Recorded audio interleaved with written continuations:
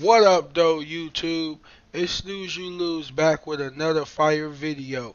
Make sure y'all like, comment, and subscribe one time for the grind. In this video, we have yet another mass shooting. And this time, it happened in Highland Park. Okay? Now, there's been a lot of mass shooting attacks in the last five years. Okay?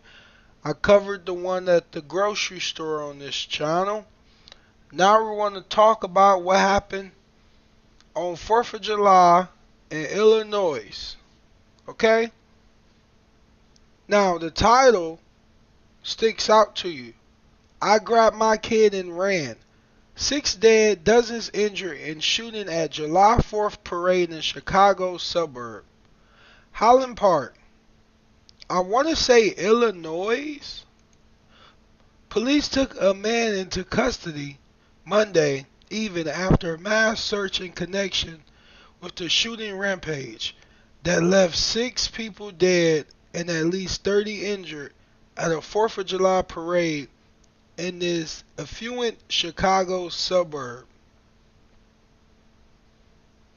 Law enforcement officers walk around the crime scene after shooting at the parade.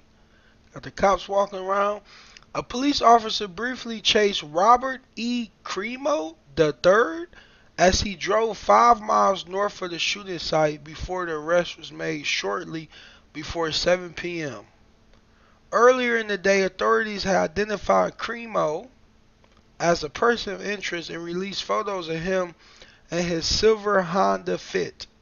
They warned the public to shelter in place that he was likely armed and dangerous. Authorities initially said Crimo was 22, but an FBI bulletin and Crimo's social media said he was 21. This individual was believed to have been responsible for what happened, Lake County Deputy Sheriff Christopher Covey said. Video from the parade scene shows scores of people running for cover as music continued to play. Minutes after the event began at 10 a.m. local time Monday, Covey said the gunman apparently fired from a rooftop at around 10:14 a.m. after climbing there on an unsecured ladder attached to the building. A high-powered rifle was recovered at the scene, he said. Lake County Coroner Jennifer Banek said the five people killed at the parade were adults, but didn't have information on the sixth victim, who died at a hospital. Their identities were not released. One of those killed was a Mexican national, said Robert Velasco, Mexico's director of, for North American Affairs. North Shore University Health System received 26 patients from the attack, and 25 of them had gunshot wounds, including four or five children, said Dr. Brigham Temple, medical director for emergency preparedness. He added that 19 of the injured were treated and released. Temple also said at least 10 other patients were taken to other hospitals. Our community was terrorized by an act of violence that has shaken us to our core.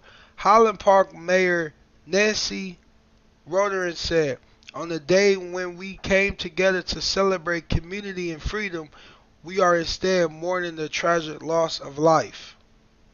At a White House event Monday, President Joe Biden held a moment of silence for the victims. In a statement, he said he and his wife were shocked by the senseless gun violence that has yet again brought grief to American community on this Independence Day. Despite the gun safety bill he signed June 25, there is much more to work to do work. Work to do. There is much more work to do, he added. Okay, but you can't take away our guns. We deserve the right to bear arms. Just in case you have some problems, somebody try to harm you, okay? Even if you just go into the gun range. we can't control people going out doing devil acts and harming people. Okay? Sometimes I feel like these things are set up. The more and more and more we get desensitized to people getting hurt with guns, the better chance they have at banning guns. You guys gotta you gotta pay attention to what what's what they're trying to do. I grabbed my kid and ran. Highland Park home to about 30,000 people is about 25 miles north of Chicago on Lake Michigan. Clothing stores, restaurants, and gift shops line the sh- tree shaded street with brick sidewalks leading into the center of town, where a large American flag wave above caution tape and rows of police cars. Okay, I'm not going to read this whole article because they're talking about more police shootings and and the search. So basically, this is a tragic situation. RIP. Send my condolences to all of the people who lost their life, all of the people who were injured and had to go to the hospital, and all the family members. Okay, and just the whole community who had to experience this tragedy. I think there's going to be a lot more mass shootings. Okay, I don't know if they're real, I don't know if they're staged. But why would you risk climbing up a broken ladder to get to a rooftop to shoot people when you could fall trying to get up the ladder that'll mess up your whole plan and then you leave the weapon who does that you know what i'm saying so you never know if, if, if these mass shootings are real or if they're fake but i can say one thing the more mass shootings we see the better chance the politicians can push to get rid of guns. The police cannot be the only one with guns. That can never happen.